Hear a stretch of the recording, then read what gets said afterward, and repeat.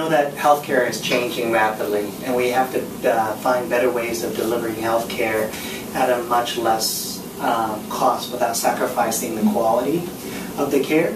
And so we began with a project that I came with to Naomi with the idea that somehow we'd love to replicate the old-fashioned house call, to be able to go into the home and, and kind of provide care as we did when we were uh, in the 1940s, 50s, where people actually went to your house. Um, but of course, in the modern day, it's impossible. We have thousands and thousands of patients, and how do we do that? But because of telehealth and telepresence, we can do that by placing a unit into the home. So we decided to work with a company called VGo. And the important part about VGo is it's able to move. So what we do is we put these units into the home. And the reason we wanted the robot to move with the patient is because initially we thought that it was important to see the patient in their natural setting, so in their bed, in the bathroom. For example, we, after surgery, we want to see what the color of the urine looks like. Is it really bloody or is it normal? So sometimes the parents can't capture it. They, they say, well, it's in the toilet.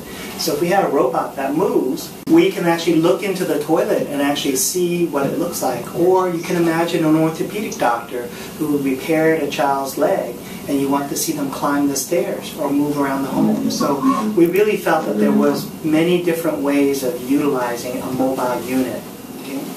Um, so we launched a study that uh, was basically a pilot study.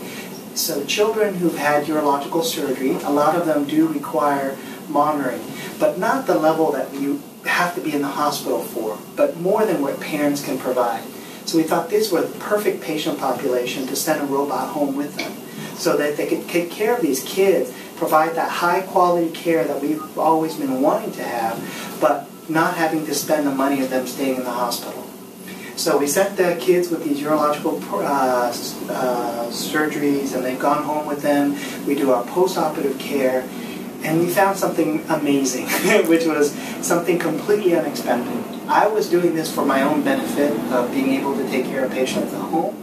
What I actually found was the most important result from the study was, believe it or not, the kids became more engaged in their health care. They suddenly cared about what was going on with them. They suddenly cared about what surgery they had and why they had it. And they cared about what they should do in the future to keep themselves healthy. And I thought for a long time, well, what, how did that happen? And it was very subtle. It was came into situations such as the child when he came home from school, ran directly up to the robot and started talking to the robot. Or the little girl wanted to dress the robot up because it was naked. What they did was they actually formed a bond between themselves and their family with the robot. And the robot also provided a like a central um, mechanism by which the family and the child could discuss the surgery. And it really organized their healthcare around this robot. I think part of it is the mobility. If something moves on their own, you're more likely to believe it to be an entity rather than a desktop computer or Skype. If you have those, most kids, we, we, what we have learned so far is these kids still view those as computers, as objects. However, as soon as a robot moves, there's somebody on the other side looking at them, talking to them, you really get the idea that this is something truly different than your computer. And that's what engaged the kids, believe it or not. I mean, it sounds dumb, but it really became something where these kids start going, well, why do I have reflux? And, or the kids go, well, you know, so if I drink more water, that means I won't get these infections, right? So kids are starting to preempt a lot of the things that we've been trying to do.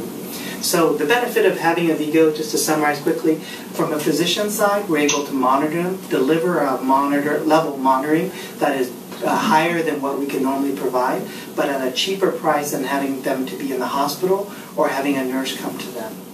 Uh, from a physician side, you have that security of knowing that you're just not letting the patient go home to nothing, that they, you can be in constant communication with them. But the added benefit is on the patient side, which is to really develop a way to engage healthcare and develop a way where the family can kind of centralize their healthcare and discussion around an object and the object becomes personified to a real human being. So this guy actually is a representation of me, believe it or not. Early on, this is just a telecommunication device. All it has is the ability for move and for ability to talk. So those are my legs, and this is my eyes, in a sense.